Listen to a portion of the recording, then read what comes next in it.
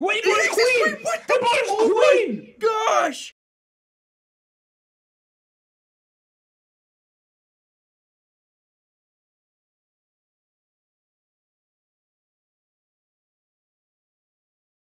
that knight and pawn end games are most similar to king and pawn end games. So having an extra pawn on the same side of the board, it Mhm. still gives very good winning chances to the side with the extra pawn.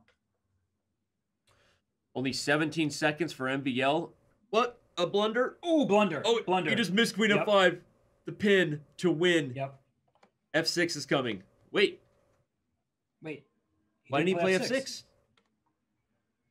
I don't know. What's going on? He's not winning Why does anymore. root beer make you burp? I don't know what's going on here, Kramer. He missed it. f6 one apiece. That, that was just wow, shocking. Oh my gosh. Magnus down to five seconds. He's got to move. Wait, It what is queen! queen! What The the- oh my queen! Gosh! I've never Are seen Magnus me? play a move like that. Like ever. Oh my goodness, he was winning that game, and he Oh gives a queen away. Gosh. Holy bleep. If that's not needing to find your form, I don't know what is, right? We know his class, we know who he is.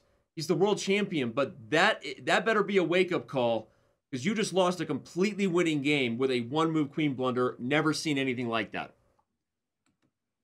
Oh my gosh. It just made no sense. I, I, I'm in disbelief right now. Oh my gosh. Let's bring up the analysis board